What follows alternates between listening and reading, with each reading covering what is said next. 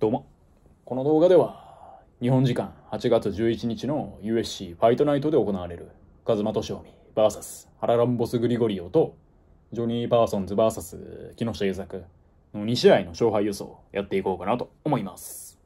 この動画収録してるのがね、7月16日ってことで、まあ結構早めに撮っちゃってるってのもあって、USC の公式サイトにはね、まだこの工業の情報自体なんか載ってないんですけど、ちゃんとあるよね、これ。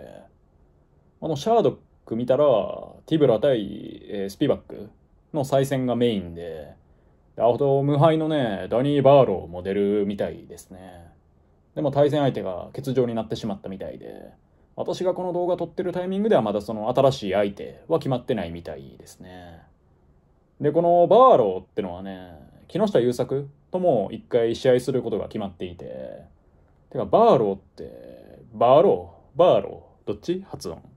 アクセントの位置がわかんないけど、でもバーローだったら、工藤新一になるからまあ、バーローにするか。で、なんだったっけ？そうそう、木下憂朔とも一回ね、決まってたことがあったんですけど、24年？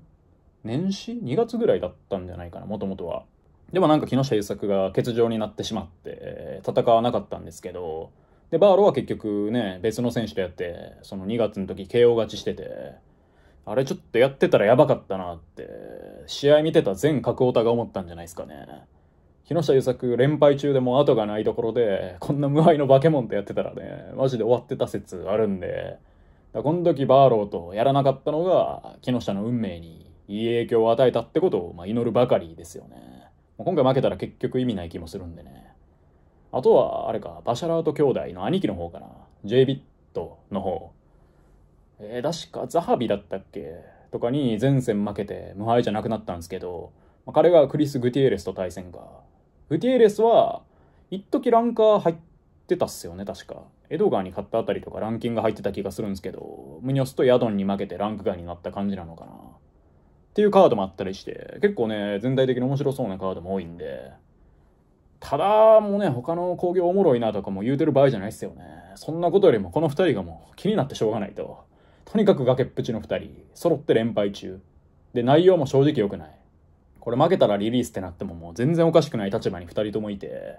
だからこそ、風間敏臣と木下優作、踏ん張ってほしい。まだ君たちは参るはずだ。信じてるぞ。ってことで、それぞれの試合について話していきます。えまずは風間敏臣 VS ハラランボス・グリゴリオ風間敏臣といえばねロードトゥ USC 決勝で中村凛也に KO されて。で USC のデビュー戦ではねギャルット・アームフィールドこと腕広場さんに KO されてね、まあ、アームフィールド、まあ、腕広場ですよね。腕広場さんもねでも直近の試合は、えー、ヒースタンドだったかな。あの選手にバックチョークで決められて負けたみたいな感じなんで。いや、恐ろしいよね、USC。で、そのね、まあ、腕広場さんを決めたヒースタンドさんは、中村凛也とも一回組まれたことあるんですけど、でもその時はね、試合流れたんですよね、確か。だからまだ USC バンタム級のね、かなり下の方の争いってことっすよね。デビュー戦とかデビュー2戦目の選手たちなんで、今挙げた選手たちは全員ね。だこの構図で見ても現状、風間敏臣は一番下におるってことで、うんかなり階層やのにその中でも一番下にいるんでもう負けられないよねこれはただ腕広場さんとの試合なんて圧倒的に負けたからなスタンドでもうなすすべもなく負けてしまったっていう感じの内容で打撃のディフェンスですよねまあ、そんなこと私が言うまでもなくねご本人が分かってることだと思うんですけどでもやっぱ風間選手フィジカル強いし決めもあるんでいかにその自分の強い場所に持っていくかですよね組んでしまえば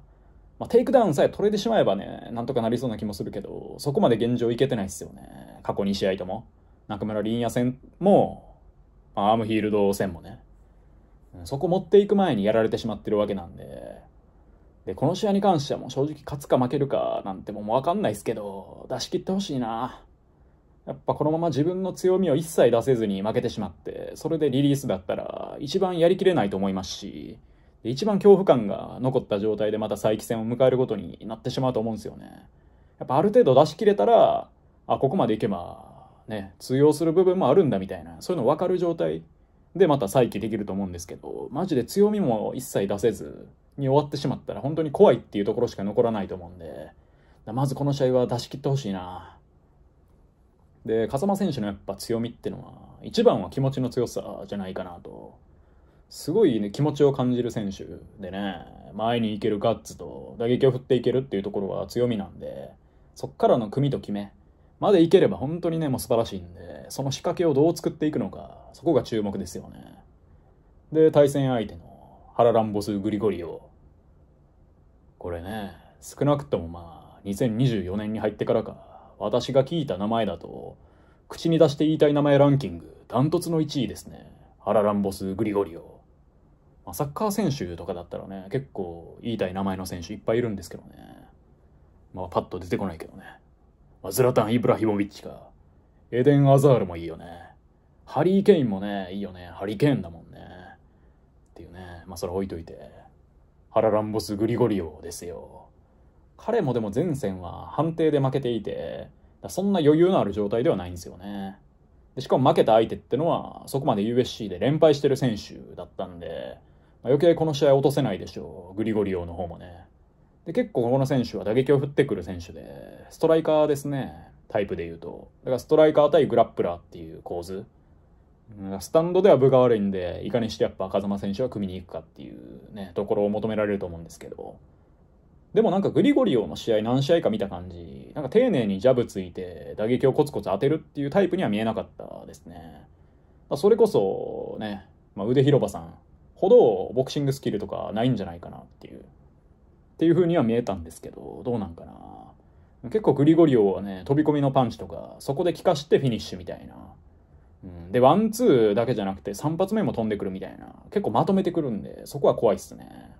なんだろう、勢い乗って、ガンガン前に来て、1、2、3って感じで、ワン、ツーで終わらないんで、3発目が飛んでくるんで、それが注意っすよね。で、あとはオーソドックスの選手なんですけど、基本は。いきなり右から入って、で、左右みたいな、まあ、逆ワンツーっていうのかな。まあ、そういうのとか、あと蹴りも結構重そうだなっていう。まあ、怖さがある選手ではありますよね。うん、やっぱね、ストライキング強い選手見たら、まあ、誰でも怖えなってなっちゃうよね。でね、きつい気がするよね、正直。風間選手の過去2戦見る限りね。やっぱグリゴリオ、勢いあるし、これ飲み込まれてしまう気がビンビンにするよね。いや、勝ってほしいよ、もちろん。もちろん勝ってほしいですけど。でもやっぱ USC レベルになってくると、基本的に打撃もある程度やらないとテイクダウン取れないじゃないですか。それはもうね、最近だと平良達郎とかでもそうで、鶴屋怜でもそうか。うん、鶴屋怜とかだったらこれまで打撃なんてほぼやらずに、いきなりね、なんでしょう、開始早々タックル行ってテイクダウン取れたりもできてたと思うんですけど、やっぱある程度スタンドの時間費やしてたじゃないですか。やっぱそうなるよねっていう USC レベルの戦いというか、単純に広いからね、ケージが。距離ね、離されたらそんな簡単には組みに行けないし、ここで風間選手がね、ケリュ主体の、うん、そういうタイプのグラップラーならまだなんとかできそうなんですけど、やっぱパンチでいくと思うんですよね。ってなると距離近いし、もらうんじゃないかな、これ、打撃。相手の飛び込みのパンチ怖いな。1、2、3っていうそのまとめで一発もらっちゃうんじゃないかな。まあ、組めたらいいんですけど、組めんのかな。うん、組んだら結構差があると思うんだけどな、寝技に行ったらね。でもそこまでいけるのかっていうところっすよね。で、一応前線から1年経ってるのか、風間選手。スタンドの技術がどれぐらい向上してるのか。でもそんな甘くない気がするんだよな。グリゴリオ、勝ちそうだな。この試合グリゴリオの2ラウンド、KO 勝ち予想でいきます。やっぱ当てられてしまうんじゃないかなって思ってしまいますね。でもそうならないことを信じてます。応援してます。もうどんな形でもいいんで、買ってくれたらもういいよ。もうつまんない試合でもいい。まあ、風間選手の試合、つまんなくはならないんですけどね。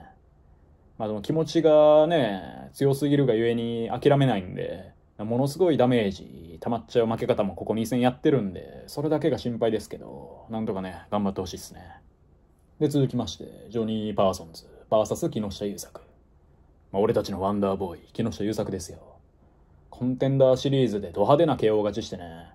やっぱそのままいっちゃうんかなと思いきやね、ウルタ、神の会計の現実を突きつけられたよね。2試合連続1ラウンド KO 負けか。個人的に2戦目の負け方、結構ショックでかかったっすね。体つきとかね、明らかにこれまでと変わっていて、やっぱキルクリフでの練習の成果がすごい体に出てるなと思ったんですよ。で、すげえ良さそうに見えた中で、ボディで聞かされて負けてしまって、いや、俺は悲しかったよ。相手のビリー・ゴフだっけ。まあ、あいつの方が生物として強かったよね。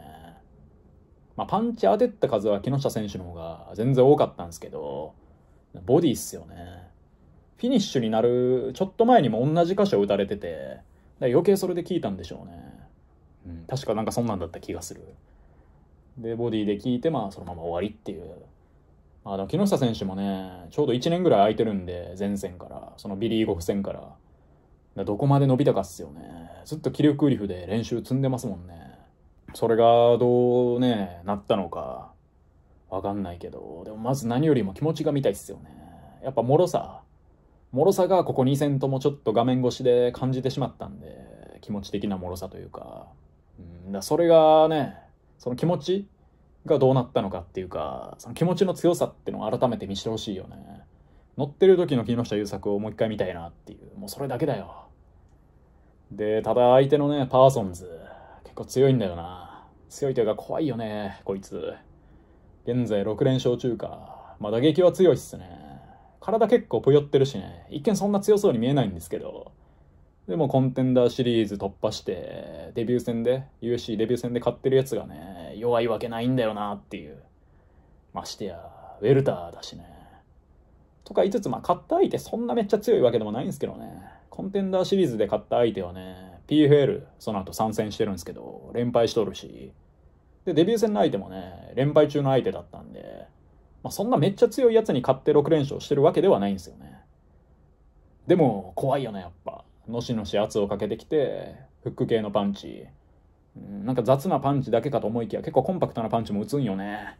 それがどうなんかなっていう。ただでも、ひいき目とかかんなしに、普通に打撃スキルでは全然木下選手が負けてるようには見えないですけどね。でもやっぱ当たったら怖いなってのはあるよね、そら。ウェルターなんでね。で、木下選手やっぱあんまディフェンス良くないイメージがあって、勝ってる試合もね、勝ってるからあんま何も言われないけど、結構もらってるイメージがあって、コンテンダーシリーズの試合とかまさにそうですよね。結構もらってたんだよな、あの試合も。結局 KO したからまああれだったけど。で、そんな打たれ強くもないっすよね、木下選手。だからどうなんかなっていうところありつつ、でも勝てると思うんだけどな。2人の試合映像を見比べた感じ。木下選手ならフィニッシュできると私は思うんですけど、で、伸びしろっていう面でもまだ若いしね、20代前半ですからね、木下選手。いけるでしょう、これは。うん、1年でまあ、どこまで成長したかわかんないけど、伸びてるし、で、これまでの打撃スキル見ても別にそんな劣ってるようには見えないし、ここは木下予想でいきましょう。木下優作、2ラウンド KO 勝ち予想でいきます。まあ、なんだかんだ相手結構パンチ振ってくれるんで、そこにコンパクトな木下選手の左のストレートが入るんじゃないかなと、そう思ってます。ってことで、この動画では、風間俊臣 VS ハラランボス・グリゴリオと、ジョニー・パーソンズ VS 木下優作の勝敗予想やってみました。まあ、ここ負けたらさすがに2人ともリリースなるんじゃないかな、USC。まあ、ここまで1勝でもしてたらまだわかんないですけど、でも一応風間選手の中村凛也戦も UFC での試合っていう風に換算されてるようなので、って考えると2人ともね、ここで負けたら3連敗になるんですよね。いや、3連敗はさすがにきついよね。えー、っと、ウェルター級だとね、去年佐藤隆選手がね、リリースになりましたけど、まあ、彼は何回か勝った上で、まあ、勝って負けて繰り返して最終的に4連敗したんかな。それでリリースになってみたいな。うん、でも買ったことがあるからね、一応。そこで考えると、風間と木下はね、まだ USC での勝利の経験がないんで、やっぱ絶対負けたらダメな試合っすよね、ここ。うん、だからこそでもものすごい緊張感で、こっちとしたらもう手に汗握りまくって見れるよね。8月11日か、日本は暑いよ。